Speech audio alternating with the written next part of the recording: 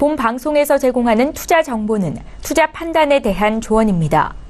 방송에서 제공하는 주식의 가치, 가격 상승 및 가격 하락에 대해서는 방송사에서 보장하지 않습니다.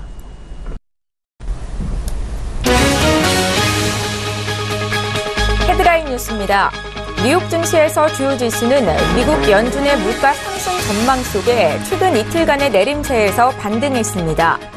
뉴욕 증권거래소에서 다우존스 지수는 전장보다 0.28% 오른 26,149.39의 거래를 마쳤습니다. S&P 500 지수는 0.05% 높은 2,823.81에 기술주 중심의 나스닥 지수는 0.12% 상승한 7,411.48에 장을 마감했습니다. 미국 중앙은행인 연방준비제도가 기준금리를 동결했습니다. 연준은 이틀에 걸친 연방공개시장위원회 정례 회의 후 공개한 성명에서 만장일치로 이같이 결정했습니다. 연준은 지난해 12월 회의에서 연방 기금금리를 1.25에서 1.50%로 0.25%포인트 인상한 바 있습니다. 연준은 회의 이후 발표한 성명에서 올해는 물가 상승률이 위로 올라갈 것이라며 중기적으로 2% 부근에서 안정화할 것으로 예상했습니다. 아울러 점진적인 금리 인상 기조도 유지했습니다. 미국의 1월 민간 부문 고용 증가세가 연말 연휴 쇼핑 시즌에 따른 고용 증가로 시장 예상치를 큰 폭으로 웃돌았습니다. ADP 전미 고용 보고서에 따르면 1월 민간 부문 고용 증가는 23만 4천 명을 보였습니다. 월스트리트 저널이 집계한 시장의 전망치는 19만 3천 명이었습니다. 국제유가는 소폭 올랐습니다. 뉴욕 상업거래소에서 3월 인도분 서부 텍사스산 원유 WTI는 전날보다 배럴당 0.4% 상승한 64달러 73센트에 거래를 마쳤습니다. 미국의 에너지 수요가 증가했다는 신호가 나오면서 소폭이나마 국제 유가를 끌어올렸습니다. 미 에너지 정보청에 따르면 지난주 휘발유 재고는 200만 배럴, 정제유 재고는 190만 배럴 각각 감소한 것으로 집계됐습니다.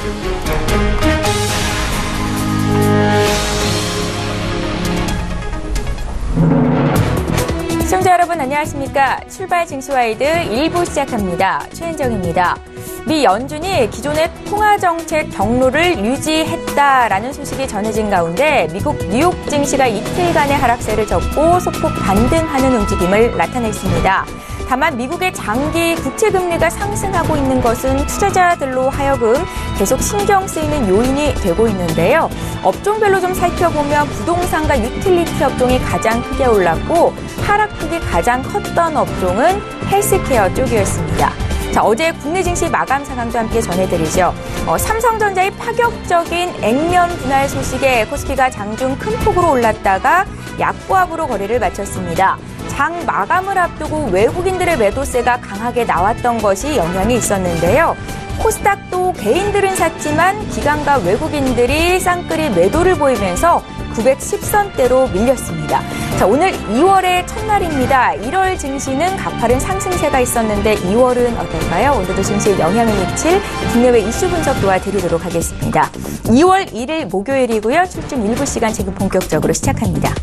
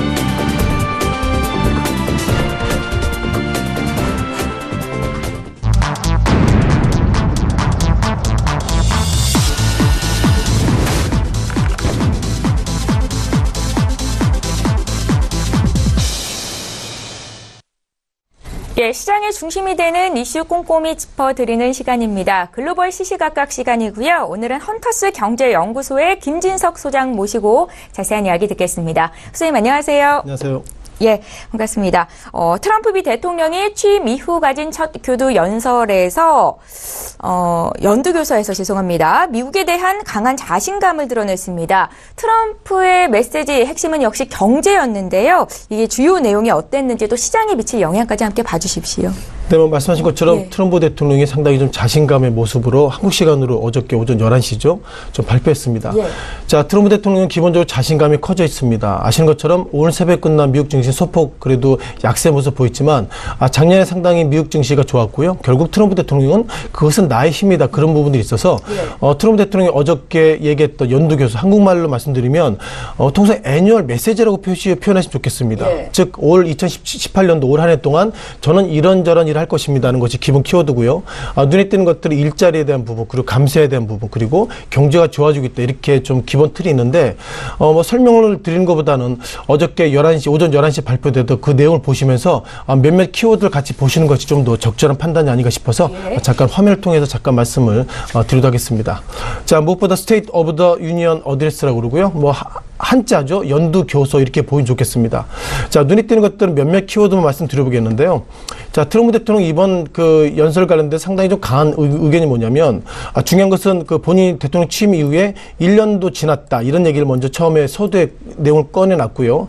아, 또한 무엇보다도 여기서는 아메리카라는 얘기 그리고 dream이라는 얘기를 많이 했기 때문에 아, 상당히 트럼프 대통령이 2017년도 즉 올해 2018년도 11월 달 아, 중간 선거를 앞두고 상당히 강한 모습을 보이고 있다. 이렇게 보겠습니다. 예. 자, 눈에 띄는 것들은 그 concern이라는 표현이 있고요. 희망이라는 표현이 있었고요. 마지막으로 dream이라는 표현이 있었기 때문에 결국 이것들이 보호무역주의, 즉 미국의 보호무역주의를 지금보다 더 강화하겠다. 그런 부분들이 아, 가장 눈에 띄는 부분인 것 같고요. 아마 내용들이 많기 때문에 좀 뒤에 것을 좀 자세히 좀 요 좀 skip해서 보면 좋을 것 같습니다. 항상 이번에 나왔던 단어 가운데서 어, 통상 strong 그리고 proud America라는 표현을 썼다는 것은 아까 앞서서 강조드렸던 것처럼 올해도 한국을 비롯해서 미국의 국가들이 미국에 수출하기는 아, 상당히 어려울 것은 아닌가 그런 어떤 모습을 좀 들여봐야 되겠고요. 아, 중요한 것은 일자리. 물론 한국의 문재인 대통령도 그러시겠지만 일자리가 상당히 눈에 띄는데요. 자, 트럼프 대통령은 어, 더 일렉션, 그러니까 즉 본인이 대통령 취임하고 나서 몇 가지 자랑을 좀 하고 있습니다. 예. 어, 통상 그 본인 취임하고 나서 20만 20만 개 이상의 새로운 일자리가 지금 열려 있고요. 그것도 어, 통 제조업 부분, 단지 제조업 부분만 보더라도 20만 개 이상의 어떤 일자리가 창출되고 있고 누적으로 보면 240만 개의 일자리가 올라오고 있다. 이런 것들 기본적인 팩트를 보고 있고요. 어, 다만 팩트 체크를 해보면요, 약간 다른 얘기를 하고 있습니다. 자, 트럼프 대통령은 매달 20만 20만 개 이상의 어떤 일자리 창출하고 있, 다고 하지만 어떻게 보면 직전 오바마 대통령 때도 일자리는 좋아졌기 때문에 아, 뒤져보면 트럼프 대통령이 오고 나서는 일자리가 오히려 감소되고 있다. 이런 어떤 팩트 체크가 좀 나오고 있는 부분이 있고요. 아, 또한 팩트 가운데서 통상 고용을 넘어서 우리가 비실업률이라고 부르죠. 실업률이라는 부분도 보면 어, 통상 45년, 그즉 어, 미국 역사 이후에 45년 만에 어, 이- 어떻게 보면 어떻게 실업률이 가장 가장 낮습니다. 이런 부분들을 강조하고 있는데 어, 또 다른 팩트를 보면은 이게 실은 트럼프 대통령이 되고 나서 일자리가 줄어드는 것이 아니라 그동안 일자리가 줄어들었는데 트럼프 대통령 즉 1년밖에 안 됐는데 트럼프 대통령 때문에 지난 45년 만에 최저의 어떤 실업률이 적어지고 있다는 것은 맞지 않다. 이런 평가를 어, 예상부터 하고 있다 보겠습니다. 아, 통상 눈에 띄는 것들은 American America 어떻게 보면 아메리카의 아메리카계 미국인 얘는 우리가 통상 흑인이라고 말씀드려볼 수 있는데 예. 아, 그만큼 그 아메리 그, 그 아프리칸계 아메리카인을 보면 어떻게 보면 어, 과거 시기보다 어떻게 보면 실업률이 상당히 좀 저- 줄어들고 있다 이런 얘기를 좀 하고 있고요. 아, 또한 Hispanic American 인- 이런 어떤 그 히스패닉 계열의 아메리카인들도 예상보다 실업률 즉 실업률이 어떻게 보면 the lowest 역사상 가장 저점을 보고 있다는데 아, 이런 부분들은 약간 적절치 않다 이런 평가가 좀 엇갈리고 나오, 나오고 있다 보겠고요. 아, 팩트 가운데서 중소기업입니다. 아, 중소기업은 항상 뭐 자신감이 좋아지고 있다는 표현을 쓰고 있고 아, 가장 또 눈에 띄는 것들은 이 단어입니다. 즉 어, 최근 들어서 미국의 증시가 어마무시하게 좋아지고 있고요. 여기서 smashed라는 표현을 쓰고 있고 one record after another돼 가지고 계속 계속 신고가를 갱신하고 있다. 통상 어, 스매싱이라는 표현은 결국 깨트리다는 개념인데 어, 미국 시장이 계속 신고가를 갱신하고 있다. 이런 부분들을 어, 통상 이번에 어, 교두 연설에 가장 헤드라인 앞쪽에 놓아, 넣었다는 것이 가장 눈에 띄는 것 같습니다. 아, 또한 팩트 가운데서 우리가 통상 그 tax의 부분을 얘기를 좀 하고 있는데요. 아시는 것처럼 트럼프 대통령 어, 작년부터 법인세 인하를 이제는 45%에서 상당히 좀 내렸는데 아, 이런 부분 이렇게 표현하고 있습니다. 아, 본인을 강조하고 있죠. 미국 역사상 이렇게 세금을 이렇게 세금을 깎, 깎 세금을 깎은 적 없다 이렇게 얘기하는데 아신 것처럼 그 지난 시기에 몇몇 데이터를 좀 보면요 아, 과거 시기에도 몇몇 대통령 그 가운데서 우리가 그, 그 어떻게 보면 또 다른 대통령도 아, 그동안 tax 인하를 했기 때문에 이번이 그 가장 최고의 어떤 감세가 아니라 어떻게 보면 이번에 감세가 11번째이기 때문에 이런 부분들은 좀 팩트 체크에 틀리다 이런 얘기하고 있습니다. 좀 정리를 좀 해볼 필요가 있는 것 같은데요. 아, 무엇보다 트럼프 대통령 감세나 일자리 이런 얘기하고 있지만 가장 눈에 띄는 것들이 아, 결국 어, 한국 입장에서 보면 북한 관련돼서 예상보다 부정적 얘기하고 있습니다. 예. 아시는 것처럼 평창 관련돼서 한국 비행기가 북한을 아, 비행기가 갔고요. 이와 관련돼서도 미국이 그동안 아, 북한을 상대로 어떻게든 딜하지 마라 이런 얘기가 있었기 때문에 그것을 일단 미국이 긍정적으로 보고 있다고 얘기하고 있는데 이번에 교대 연설 가운데서 아, 북한 핵무기가 미국의 위협이 될 수 있다 이런 코멘트를 하고 있어서 아, 기본적으로 트럼프 대통령은 아, 북한 관련돼서 지금보다 아, 부정적 으로 보는 것은 아닌가 이렇게 좀 말씀을 아, 들어볼 필요가 있는 것 같습니다. 자 그렇다면 우리가 과거 시기에도 트럼프 대통령이 소위 북한을 상대로 상당히 이런저런 딜을 좀 많이 했는데요. 어, 아시는 것처럼 작년에 트럼프 대통령이 사우디아라비아 이런 데 가면서 방위 산업 관련주에 상당히 수출 수입을 좀 많이 왔습니다. 예. 우리가 아시는 것처럼 록히드 마틴 이런 어떤 어, 제품들이 상당히 그동안 미국 증시 이끌었는데요. 어, 차트를 다시 한번 보셔야 될 것 같습니다. 어, 아까 보셨던 것처럼 연두교서 속에서 상당히 긍정적 얘기했습니다만 아, 눈에 띄는 것들은 그럼에도 불구하고 아, 미국 증시가 지난 3일간의 약세가 오늘 새벽에도 이어졌다는 것은 아, 트럼프 대통령이 아무리 좋은 얘기했지만 아, 주가에는 일단 덤덤하다 이렇게 말씀을 드려보겠고요. 어, 앞서 말씀드린 것처럼 록히드 마틴의 주가를 좀 보셔야 될 것 같습니다. 자, 록히드 마틴, 통상 우리 한국에도 수많은 록히드 마틴, 뭐 과거에는 뭐 로비스트 이런 얘기 좀 많이 있었는데 이것이 지금 보시는 것이 미국의 록히드 마틴의 기본적 차트 흐름들입니다. 자, 오늘 같은 경우 상당히 좋아졌죠. 왜 좋아졌죠? 트럼프 대통령이 북한발 이슈를 얘기했기 때문에 많은 참여자들이 과거 시기에도 즉 트럼프 대통령이 작년 한 해 동안 북한 관련돼서 뭐 rocket man 등 수많은 얘기를 한과 동시에 이 방위산업 관련주가 좋아졌다는 것은 어쩌면 지금 이후에도 미국이 북한을 상대로 부정적인 얘기, 얘기를 할 때마다 한국 증시는 어렵더라도 미국의 방위산업주는 지금보다 상승할 여지가 많다. 이렇게 좀 말씀드려보겠고요. 아, 록히드 마틴은 통상 항공기도 있겠지만 우리가 사드 관련돼서 상당히 좀 그 관련 어떤 기업으로 보시면 좋겠고요. 아, 또 한 종목 가운데서 레이시온이라고 말씀드려보겠습니다. RTN이죠.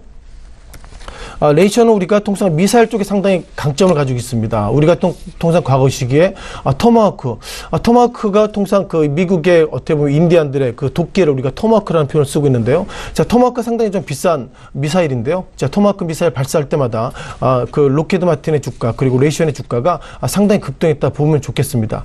눈에 띄는 것들은 2017년도도 좋아졌지만 올 한해도 주가가 이렇게 아, 단기간에 180달러에서 200달러를 넘어서고 있다는 걸 보면 아, 미국이 한국을 상대로 그리고 북한 국가를 상대로 지금보다 더 험악한 얘기는 하지 않겠나 평가해야 할 것 같습니다. 네. 아, 또한 팩트 가운데서 세제 개편에 대한 코멘트를 하고 있는데요. 우리가 가장 기대했던 부분인데요. 아, 그렇죠. 어떤 코멘트가 있었습니까? 무엇보다 작년에도 어, 작년에 트럼프 대통령이 big hit 쳤던 것이 tax cut, 네. 즉 감세제도 때문에 작년에 주가 상승했는데 올해는 SOC 투자를 작년에도 실 언급했었습니다. 어, 1조 5천억 달러니까 최근 들어서 원 달러가 좀 강세가 되더라도 네. 약 천억이 넘어 천조가 넘어서죠. 어, 따라서 이제 트럼프 대통령은 작년에는 어, 감세, 올해는 아마 이렇게 어떻게 보면 인프라 투자를 언급했기 때문에 올 한해 과연 인프라 투자를 통해서 미국 증시가 지금보다 좋아질 것이다 이렇게 좀 말씀 드려보겠는데요. 어, 통상 인프라 투자하면 우리가 통 항상 생각하시는 것이 굴삭기 이런 부분들이 눈에 띄는데 자 미국에는 굴삭기 기업 가운데서 캐터필러 즉 CAT입니다. 어, 캐 캐터필러는 우리가 군대 갔다 오셨던 분들은 탱크의 그 왼쪽에 오른쪽에는 그, 그 무한궤도 이것을 우리가 캐터필러라는 표현을 쓰고 있고요.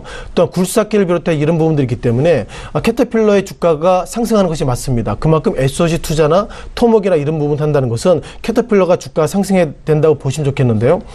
아, 보시는 것처럼 작년에 작년 3월달 같은 경우는 90달러 그리고 작년 말에는 150달러니까 어느덧 뭐 1.5배 정도 상승했는데 작년 안에 상승했던 이유가 SOC 투자를 하겠습니다. 있습니다. 그런 기대감을 상승했는데요. 네.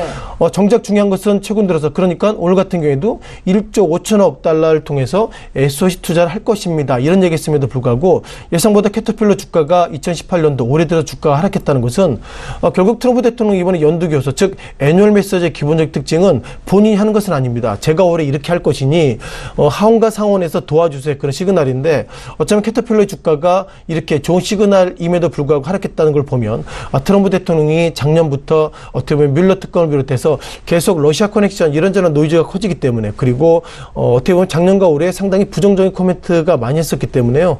어, 기본적으로 하원이 트럼프 대통령이 어떤 정책을 어, 발휘한다 하더라도 기본적으로 하원이 부정적으로 볼, 부정적으로 볼 것이다. 그런 관점 속에서 어, 예상보다 캐터필러의 주가가 하락했다 보겠습니다.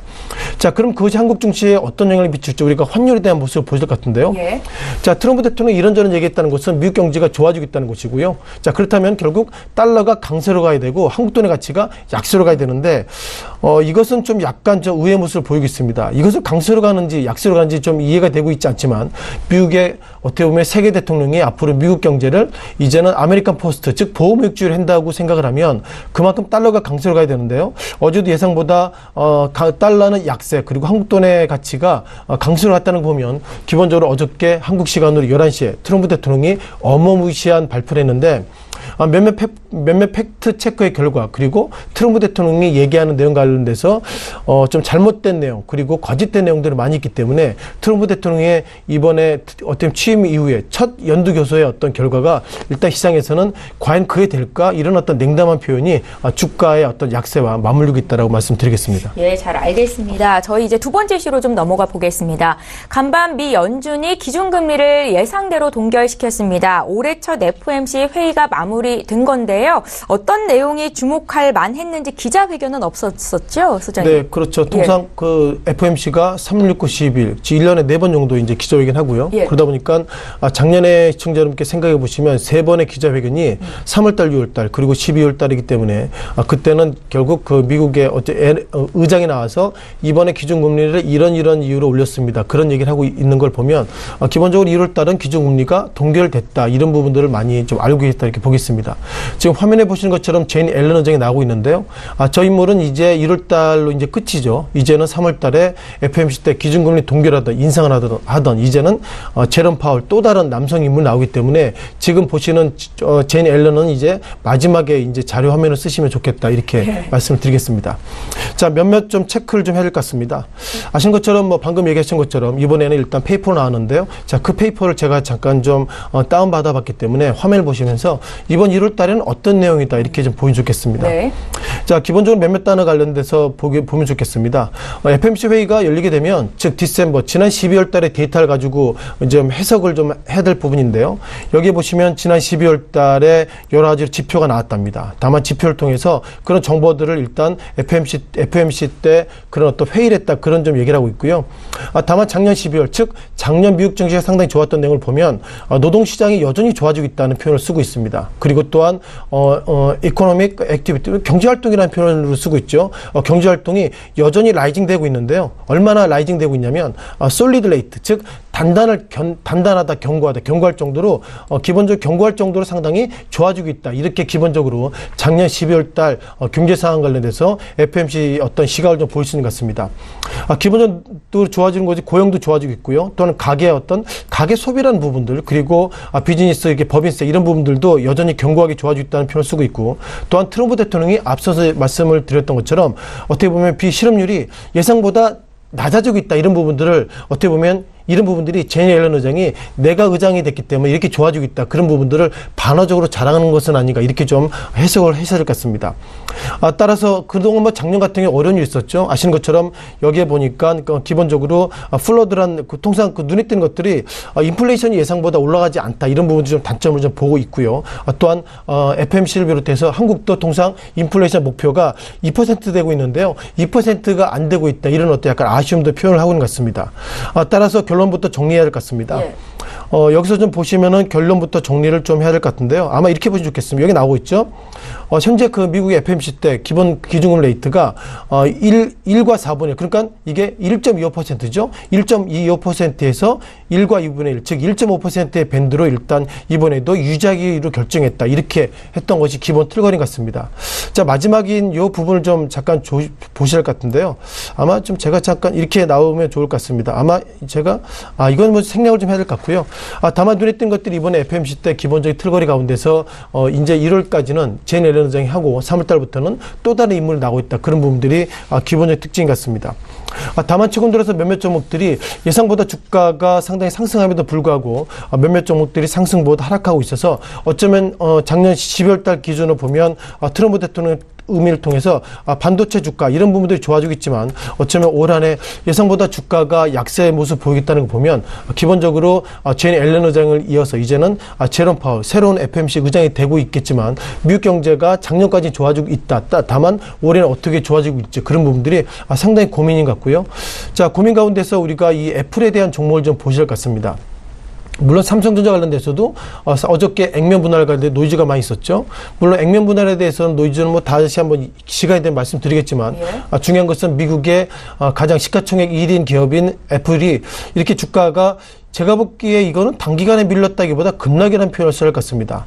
그동안 통상 애플이라는 회사가 아시는 것처럼 아이폰 즉 휴대폰 만드는 회사인데 휴대폰 만드는 회사가 아이폰 10 그러니까 우리가 아이폰 X라는 표현을 쓰고 있는데 아이폰 10 그러니까 이런 아이폰 관련돼서 예상보다 작년에 부진하고 있고요. 올해도 예상보다 어, 판매가 부진하고 있다는 걸 보면 어, 결국 세계 1위 기업 그리고 미국 1위 기업들이 화면에 보시는 것처럼 주가가 1월 18일 날 180달러에서 어, 최근 들어서는 어, 주가가 160 160달러, 160달러 밴드까지 아, 단기간에 내려가고 있다는 걸 보면 아, 기본적으로 이건 애플의 주가만 밀린 것은 아니고요. 아, 미국의 그 필라델피아 반도체 지수를 비롯해서 반도체 지수가 저죠. 어, 결국 미국에 있는 그 반도체 기업들의 총합이기 때문에 결국 이런 총합이 어, 작년 12월, 올해 12월, 올해 1월 23일 1393선에 이어서 이제 떨어지고 있다는 걸 보면 아무래도 우리가 어, 미국 증시가 상승하고 있지만 결국 이것이 상승보다 하락할 여지를 결국 기본적으로 애플이 만드는 것은 아닌가 이렇게 보면 좋겠습니다. 어, 따라서 정리를 좀 해야 될 것 같은데요. 자, 무엇보다 그 제니 앨런 의장이 상당히 의미가 있는 부분입니다. 아, 앨런 의장 그동안 했던 얘기가 뭐냐면요. 기준금리가 올리더라도, 내리더라도 기본적으로 시장에 정확하게 어나운스를 드리겠습니다. 그런 어떤 시장 친화적인 인물인데, 아, 제롬 파월 이제 신임 의장이 됐죠. 신임 의장은 어쩌면 트럼프 대통령과 상당히 코드가 잘 맞는 인물, 이기 때문에, 어, 작년에 그 제, 제니 앨런 의장이 어쩌면 이번에 낙마하게 된 기본적인 이유가 아, 트럼프 대통령과 갈등이 있었죠. 어, 따라서 제롬 파월 의장이 이런 모습 봤을 때, 어, 나는 물론 어, 한국도 그렇지만 미국도 중앙은행이 독립적인데 아, 제롬 파월 의장이 어쩌면 이제 나는 트럼프 대통령과 코드를 잘 맞추면 어, 어떻게 보면 연준 의장 자리를 더 오래 할 거야. 그런 어떤 어, 친 트럼프 성향이 있다 이런 부분들이 있어서 이제는 과연 3월달에 어, 제니 앨런 장이 시청자 여러분들께 말씀드렸던 것처럼 올해는 세 번의 기준금 인상했습니다. 이런 부분들을 어, 제롬 파월 의장이 얼마나 지킬지 그런 부분들이 어, 지금 월가에서 바라보는 기본적인 키워드라고 말씀드려보겠고요. 종래면 1월달은 기준금리가 동결됐다 이렇게 어, 간단하게 좀 총평을 드려보겠습니다. 예, 오늘 글로벌 시시각각 진행해봤습니다. 지금까지 헌터스 경제연구소의 김진석 소장과 함께했습니다. 말씀 잘 들었습니다. 고맙습니다.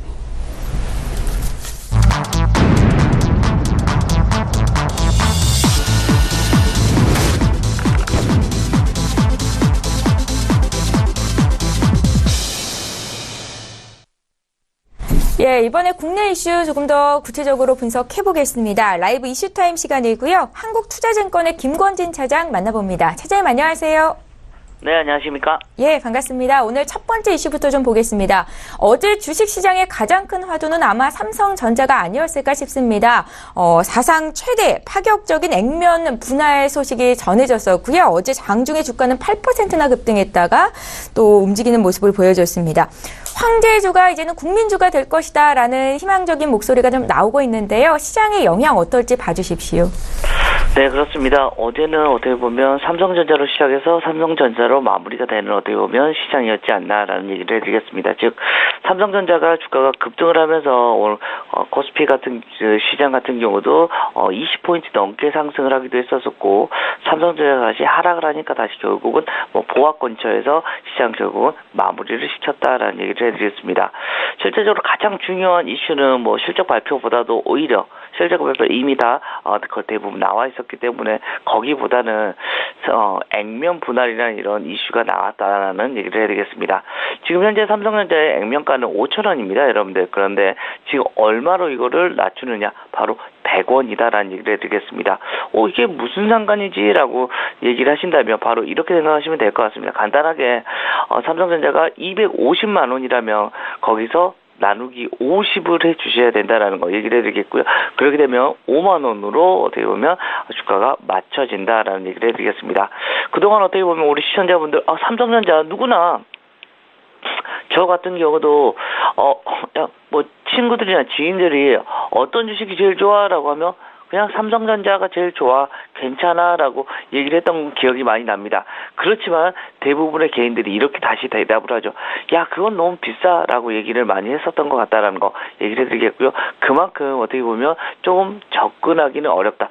알고는 있지만, 좋은지 알고는 있지만 너무 비싸기 때문에 좀 접근하기가 어려웠다라는 거. 근데 이제는 액면 분할이 어, 마치고 나면 한 5월달 정도면 아마 이게 여러분들 곁으로 갈 수가 있을 것 같은데 실제적으로 5만 원까지 내려오면 실제적으로 이제는 어, 귀족주에서 어떻게 보면 이제 국민주로 돌아올 수가 있다라는 얘기를 해드리겠습니다.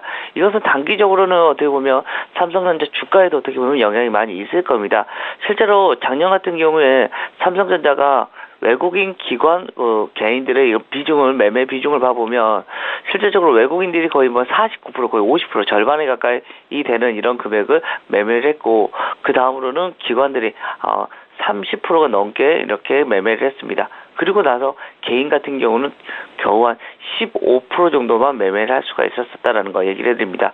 실제 우리나라 전체 시장에서 개인이 차지하는 비중은 50%가 넘습니다. 그런데 실제적으로 우리나라의 대표 주식이라고 할 수 있는 삼성전자에는 15% 정도밖에 어, 참여를 하고 있지 못했다라는 거 얘기를 해드립니다. 근데 이게 아마 이제는 5만 원 단위로 바뀌면 아마도 이제는 이게 숫자가 조금씩 바뀌어지지 않을까라는 얘기를 해드리겠습니다. 즉 소액 투자자들이 이제는 어떻게 보면 어, 투자자들이 많이 이제 접근이 가능해지고 있다라는 거 얘기를 해드리겠고요.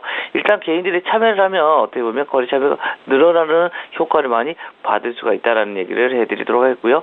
좋은 오팡도 있고 좋은 실적에도 있음에도 불구하고 우리는 대부분 어떻게 계속해서 외국인 기관들만 어떻게 보면 삼성전자를 바라봤습니다. 그렇지만 이제는 어떻게 보면 한 주체의 수급이 다시 한번 좀 생기는 것이다라는 거 얘기를 해드리겠고 삼성의 어떻게 보면 디스카운트가 좀 해소가 될 수 있습니다.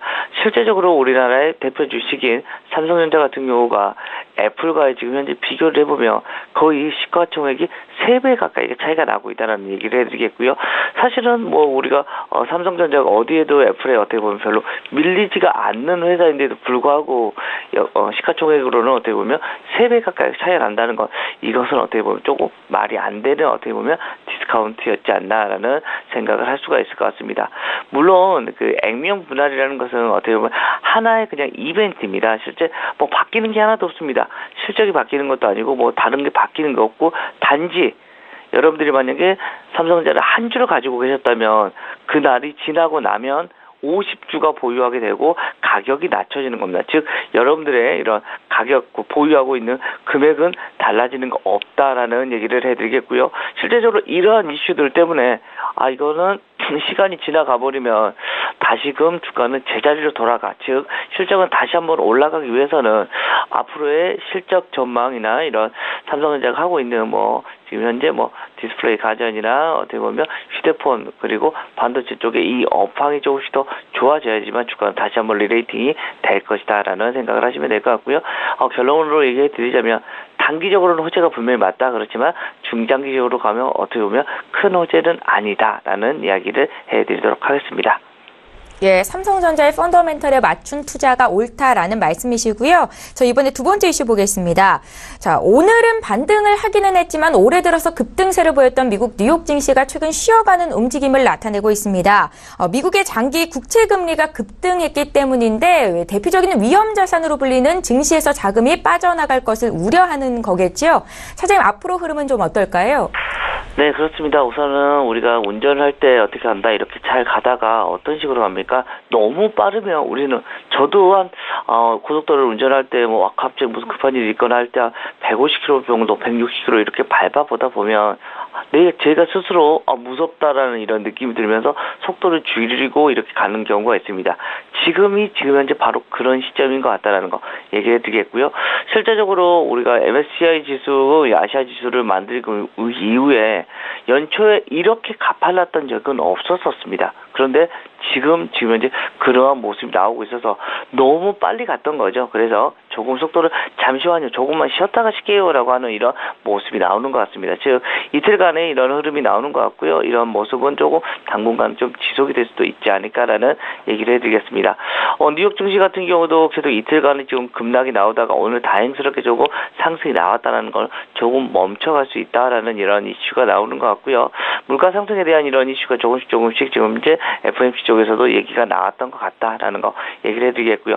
대표적으로 우리나라 그 시장이나 위험 선호 그런 자산에 대한 얘기가 나오기 위해서는 매번 나오는 게 바로 빅스 지수다라는 얘기를 해드리겠고요.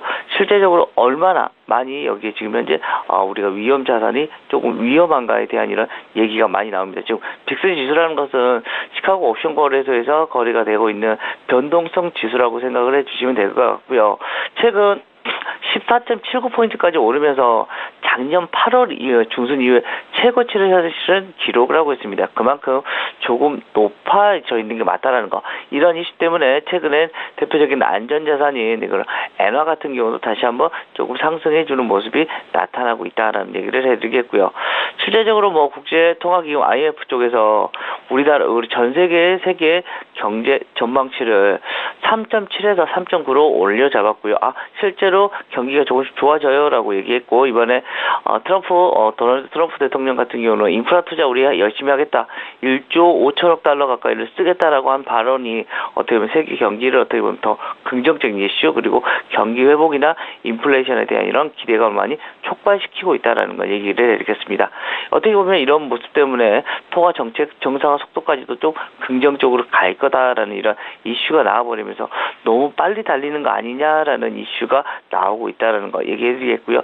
실제적으로 미국의 10년물 이런 국채 금리 같은 경우가 3%대 어떻게 보면 인계점이라고 할 수가 있을 것 같고요. 금리가 더 올라버리면 어떻게 보면 긴축 모드로 많이 가다 보면 어, 유동성이 많이 떨어질 수가 있기 때문에 실제적으로 주식시장은 조금 불리한 모습이 나타날 수도 있다라는 얘기를 해드리겠고요. 실제적으로 어, 상황이 조금씩 달라질 수도 있다라는 거 이것은 여러분들이 좀 생각을 하셔야 될 것 같고 뭐 최근 뭐 9년간 낮은 금리가 계속해서 유지됐습니다. 뭐 제로 금리부터 마이너스 금리까지 지금 현재 이곳저곳에서 나타나기도 했었었다라는 거 얘기를 해드리겠고요. 최근의 흐름을 보면 최근 한 2, 3년 거는 어떻게 보면 계속해서 조금씩 조금씩 좋아지는 모습에서 올해 어떻게 보면 꽃을 피울 수 있는 시장입니다. 실제적으로 확산이 되는 시장이기 때문에 지금에서 조금씩 속도 조절은 있겠지만 점점 옹기는 점점 확산될 수 있을 것이다라는 거 얘기를 해드리겠고요. 너무 강한 가속 페달만 아니라면 여러분들은 계속해서 긍정적인 흐름을 보시는 것도 나쁘지 않지 않나라는 얘기를 해드리도록 하겠습니다. 뉴욕 증시가 급하게 올랐기 때문에 쉬어가는 구간이다라고 보시는 거죠? 아, 네, 그렇습니다. 실제적으로, 어, 전 세계 대비해서 우리나라는 아직까지도 그렇게 너무 빠른 악셀레이터를 밟은 건 아니다. 적당했다라는 얘기를 해드립니다. 네, 저희 다음 이슈 또 보겠습니다. 어, 새 주인 찾기에 어려움을 겪던 대우건설이 호방건설에 인수됩니다. 업계 3위 대우건설이 13위인 호방건설에 매각이 된다라는 소식에 시장은 새우가 고래를 삼켰다고 평가하고 있는데 이게 시사하는 바가 뭔지 구체적인 내용 좀 봐주십시오. 네, 그렇습니다. 어떻게 보면, 어, 그동안, 어떻게 보면, 대우건설이라는 큰 덩치가, 어떻게 보면, 주인이 없이, 어떻게 보면, 뭐, 주인이라고 하면, 뭐, 어, 실제적으로 어, 산업은행을 계속해서 얘기를 했습니다. 뭐 실제적으로 산업은행이 공적 자금이 투입되면서 뭐 대우건설 같은 경우는 대우건설에서 어떻게 보면 금호 아시아나 금호 그룹 쪽으로 갔는데 금호에서도 또 유동성 위기가 나오면서 또 다시 내다 팔고 이게 다시 어, 산업으로 넘어갔다가 다시 이제는 어, 결국은 호반건설 쪽으로 인수를 되는 이런 시나리오로 가고 있는 것 같습니다. 실제로 그렇습니다. 어떻게 보면 아주 작은 어떻게 보면 어깨 어, 시공 어, 건설업계 시공순위 13위가 어떻게 보면 3위를 어, 이제 꽤 어, 인수를 하는 격이 됐기 때문에 새우가 고래를 삼킴 결이라는 죄송합니다.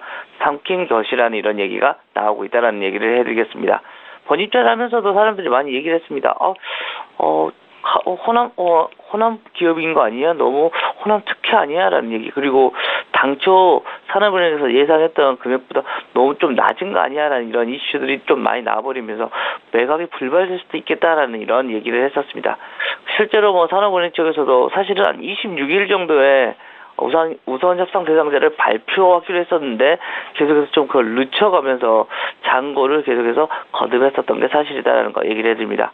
뭐 실제적으로 어떻게 보면 조금 그 어떤 여러 가지 논란이 있을 수밖에 없습니다. 실제로 가격이 좀 생각보다 싸게 이렇게 어, 나가기 때문이다라는 거 얘기를 해드리겠고요.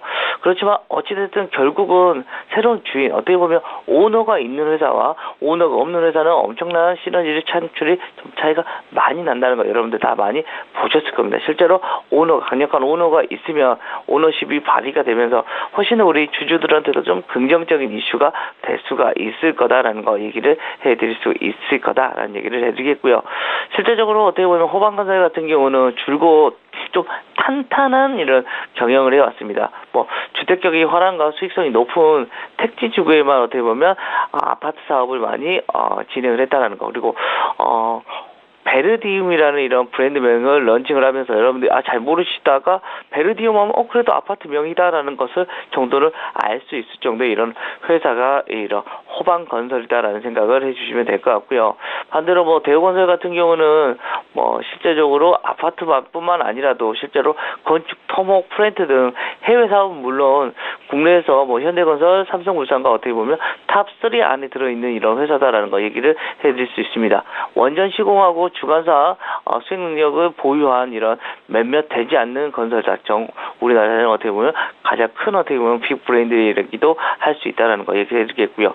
매출 같은 경우도 뭐 어, 호반건설하고 대우건설 거의 10분의 1 정도 차이가 납니다. 어떻게 보면 호반건설이 10배 이상이 되는 이런 매출을 매출의 규모의 회사를 어떻게 보면 인수를 하는 거다라는 거 얘기를 해드리겠고요. 실제적으로 이러한 모습을 보면 여러 가지 이슈가 나오는데 그렇지만 결국은 뭐냐면 시너지에 대한 이슈를 계속해서 이야기를 할 수밖에 없다는 거. 당분간은 호반건설과 대우건설이 좀 바로 합쳐지지는 못하겠지만 조금씩 조금 조금씩 스며들 거다라는 얘기를 해드릴 수가 있을 것 같고요. 호반 어, 호반 산업 같은 경우는 실제적으로 어, 그동안 못했던 어떻게 보면 주택 사업만 어떻게 보면 특화되어 있었던 이런 것에서 어떻게 보면 이제는 어, 토목이나 플랜트 같은 사업까지 좀 확장하는 영역을 좀 확대할 수 있고 해외 사업에도 어떻게 보면 이제는 진출하는 이런 시너지를 낼 수가 있을 것 같다라는 거 얘기를 해드리겠고요. 또 어, 레저 사업 쪽도 어떻게 보면 사업을 많이 확대하면서 어, 대우건설이 가지고 있는 뭐 조직과 인력을 노, 그 동원, 동원을 해서 노하우를 많이 활용할 수 있을 거다라는 얘기를 해드리겠고 대우건설 입장에서는 어떻게 보면 긴 은행 관리 체제였었죠. 실제로 이거를 마무리하고 제대로 된 사주가 맡게 되면서 경영상의 안정성이 훨씬 더 많이 펼쳐질 수가 있을 것이다라는 얘기를 해드릴 수 있습니다. 실제적으로 어떻게 보면 양사 둘 다 좀 긍정적인 모습이 되지 않을까라는 얘기를 드리겠습니다. 예, 잘 알겠습니다. 지금까지 한국투자증권의 김권진 차장과 함께 경제 이슈 분석하고 투자 조언까지 들어봤습니다. 고맙습니다. 네, 감사합니다.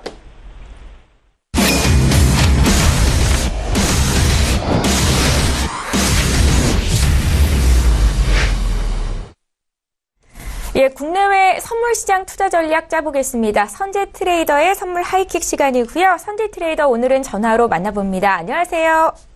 네, 안녕하십니까. 예, 반갑습니다. 오늘도 네네. 국내 선물 시장 투자 전략부터 여쭤볼게요. 네. 우선 335지수 중심 지수다. 그거는 뭐 변함없고요. 어제 구간에서는 아래 저가에서 매수 그래서 뭐 짧게 빼먹고 다시 재매수 드렸었고요. 어제 실제적으로 별로 움직이지 않을 줄 알고 저희가 뭐 매도 홀딩해서 빼먹은 다음에 반대 매매 매수를 잡고 그다음 위에서 뭐 아래에서 1포 위에서 1포 정도 주고 마무리를 지었었습니다 오전장에 그리고 막 얘네들이 매수가 좀 셌기 때문에 설령 가더라도 얘네들은 다시 334, 335 지수 다시 내려와서 머무를 거다. 중심 지수는 지속적으로 회귀한다 이렇게 말씀드렸고요. 그다음 윗자리들 339 지수 올라가더라도 걔네들은 다시 올 거니까 추가적으로 건드리실 분들은 335 지수 이상에서는 매수 쫓아가지 마라 이렇게 말씀드렸습니다. 실제적으로 얘네들 그림들은 330 3지수에서 337지수까지 부합 구간에서 어제 출렁거리는 모습들 보이고 다시 중심 지수로 회귀했다 이렇게 말씀드리겠고요. 여전히 335지수는 중심 지수이기 때문에 얘네들은 합성 전략 만기 전략을 짜기 위해서 변동성만 높일 뿐 지수는 크게 변동 없을 거다 이렇게 말씀드리겠습니다. 자 오늘 예상저항은 330.80대들을 열고 대응을 할 거고요. 그 다음에 아래 예상 지지역들은 아래 추세 저항인 332 지수들 한마디로 332.50 지수를 드릴 생각입니다. 여전히 334 아래에서는 매도 쫓아간 거 아니고요. 그 다음에 335 지수 이상에서는 매수 쫓아간 거 아니다 말씀을 드리겠고요. 그 다음에 뭐 전반적으로 보자면 삼성전자 280만 원대에서 240만 원대까지 확인 매도로 빠질 거고 236만 원 지지력에 270만 원. 그 다음에 동그라미 구간들은 휩수 구간들이다. 그렇다면 얘네들 현물 쪽도 매도에 매수까지 어제 다 마무리된 그림이고요. 그렇다면 오늘은 관망하면서 단타 위주로의 대응이 유효하겠다 이렇게 말씀드리겠습니다. 우선은 최대치 뭐 일봉상 잠깐 한 번만 더 보겠습니다. 일봉상에서의 그림들 여전히 상방 제약들 놓여 있는 상태고요. 그 다음에 하단부 추세 지지력들 놓여 있는 상태이기 때문에 저희는 추가적인 급락이 있으면 얘네들 지지력에서 매수 받는 걸 우위로 볼 거고요. 중심 334 5지수에 있을 때는 여전히 단타부터 짧은 구간 매매에 집중할 생각이다. 그래서 롱포는 위에서 340 지수 이상에서의 추세 매도, 그 다음에 330 지수 지지력의 추세 매수 자리를만 노리고 이 중심 근처에서는 짧은 단타 구간이라 보고 여전히 335 지수는 중심 자리다. 이렇게 말씀드리겠습니다. 이상입니다. 예. 매일 이 시간에 선제 트레이더를 연결하고 있습니다. 이번에는 해외 선물 시장 구체적인 방향 어떻게 보시는지 듣겠고요. 오늘 무료 방송한다고 어, 전해 들었는데 구체적으로 내용도 함께 전해 주시죠. 네. 뭐 달러 인덱스 먼저 보겠습니다. 해외 선물의 요즘 이슈는 달러 인덱스죠. 22 금리 인상 결과가 나왔고 그 이후에 어제 새벽 4시에 FMC 결과까지 나왔습니다. 자, 일봉상에서의 추세 하단부 지지력은 지지가 될 거다. 그다음에 여전히 보합이라는 이야기 지속적으로 말씀드리고 있습니다. 여전히 어제도 보합 구간 상단부 하단부 깨지 못하고 지지력을 받아냈었고요. 그 다음에 저희는 이 구간에서 매수, 그 다음에 상단부 제약 마무리, 그 다음에 다시 매수가 들어왔었고, 추가적인 하방 오차가 좀 더 있었으나, 매도 쫓아갈 그림 아니다. 지속적으로 지지력 본다. 깨기, 깨지 않았을 땐 깼다고 인정하지 마시고, 그 다음에 저가를 치더라도 얘네들은 다시 반등할 거니까, 그냥 매수 유지다. 이렇게 말씀을 드리고, 지속적으로 매매 관점, 그렇게 끌고 왔습니다.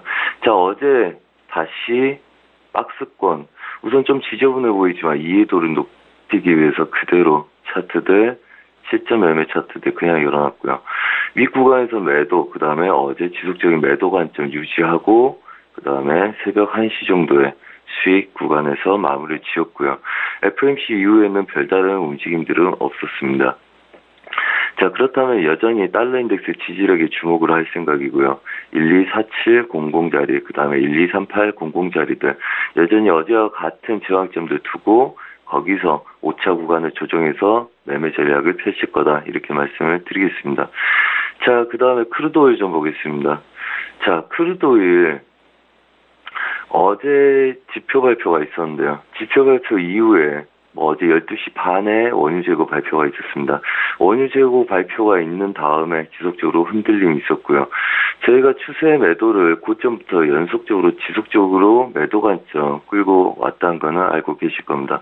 자, 얘네들 채널 구간들 여전히 설정해서 끌고 왔었고요. 그 다음에 어제는 바로 저가를 낮추기가 어렵기 때문에 50, 65달러 확인하지 않으면 재매도 없다. 이렇게 말씀을 드렸고요. 어제 지표 이후에도 지속적으로 매수 관점 열고 봤었는데 아래 구간들 지속적으로 흔들리면서 어, 새벽 1시 넘어서까지 잘 움직임이 없었습니다. 그래서 매도 치지 않을 거니까 매도는 65달러 이상에서만 볼 거다. 기다리라. 그 다음에 매수는 그대로 끌고 가셔도 좋겠다. 절대 매도 추격하지 않는다 말씀드렸고요. 새벽 3시, 4시부터 얘네들을 움직일 가능성들 염두에 둔다. 말씀드렸는데 여전히 역시나 새벽 3시 넘어서부터 매수로 치기 시작했고요. 그렇다면 오늘은 64.20을 중심 자리로 만들어서 매도 관점으로 돌릴 생각을 하고 있고요. 64.90, 그 다음에 65.20, 그 다음에 65.40까지 전반적으로 65달러 이상부터는 매도 관점이고 매도의 시작은 65.20부터 시작하시면 좋을 것 같고요. 그 다음에 걔네들은 65.4050까지를 오늘 버티고 분할 자리는 65.40이 되겠죠. 자, 그래서 보수적인 분들은 65.40 근처에서 매도를 노리시고요. 그 다음에 공격적인 분들은 65달러 이상부터는 매도 분할로 대응을 하시면 되겠다. 그래서 여전히 저희가 원하는 그림들 지속적으로 패턴들 매도 추세에 그다음에 반등에 다시 재매도 본다는 관점들 그 크게 오차 없이 여전히 유지하고 있기 때문에 같은 관점 여전히 볼 생각입니다. 그래서 예상 저항은 65.20이라고 말씀드리겠고요. 예상 지지력들은 다시 하방 노리는 63달러부터 62달러, 61.50달러까지 가능성을 보고 대응하겠다 이렇게 말씀드리겠습니다. 자 마지막으로 골드입니다. 골드도 유로 달러, 달러 인덱스의 영향을 그대로 받기 때문에 어제 유로와 같은 관점으로 대응을 했었고요.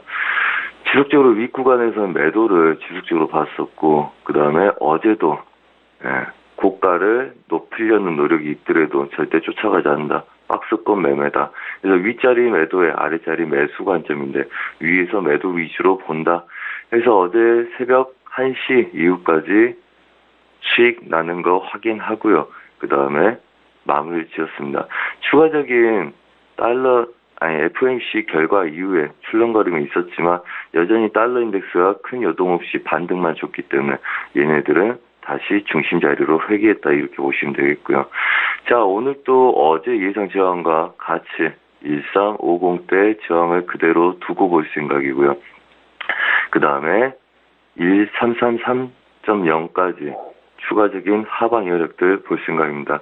단 좀 조심해야 될 거는 고가 최종 마지노선 근처까지 왔기 때문에 추세 상단부 넘어가지 않는 관점으로 위에다 손절을 잡고 대응할 생각이고요. 지속적으로 아시아 유럽장은 반등에 매도 관점만 열고 보겠다. 한마디로 달러 인덱스 지지력을 보겠다는 거죠. 대신 얘네들 골드는 좀 더 조심해야 되기 때문에 손절 라인 짧은 구간들 1350 지수를 저항으로 두고 매매를 시작하시고요. 손절 라인은 30개 넘어가지 않게 설정하시면서 추세 상단부 지지력까지만 본다. 그리고 얘네들은 꼭 손절 잡으셔야 된다. 이렇게 말씀드리겠습니다. 자, 전반적으로 달러 인덱스, 그 다음에 국내 선물, 그림들 어느 정도 다 마무리가 된 상태에서 요동치고 있는 거기 때문에 무리한 패팅보다는 단타부터 시작해서 부업 관점에 작은 구간 익제 잡고 하는 매매 유효하겠다. 무리한 배팅보다는 부합 관점 유지하면서 신규 자리들 만들기 위한 테스트 구간이다. 이렇게 보심이 좋을 듯 보입니다. 자, 오늘 또 조심해서 리스크 관리 잘 하시고 수익 많이 내시기 바랍니다. 이상입니다. 예, 지금까지 김우석 선재 트레이더와 함께 했습니다. 내일 이 시간에 또 뵙겠습니다. 고맙습니다. 네, 감사합니다. 예. 저희 출발 징수아이드 1부 시간 여기서 마칩니다. 잠시 뒤 2부 시간에는 시청자 여러분들 종목 상담 도와드리는 시간 있습니다. 건당 100원의 정보 이용료가 부과되는 샵 0082번으로 지금 문자 참여해 주시면 되겠습니다. 저희는 잠시 뒤 2부 시간으로 다시 돌아오겠습니다. 고맙습니다.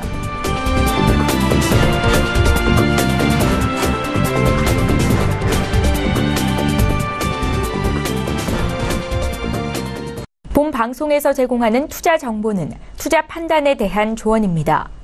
방송에서 제공하는 주식의 가치, 가격 상승 및 가격 하락에 대해서는 방송사에서 보장하지 않습니다.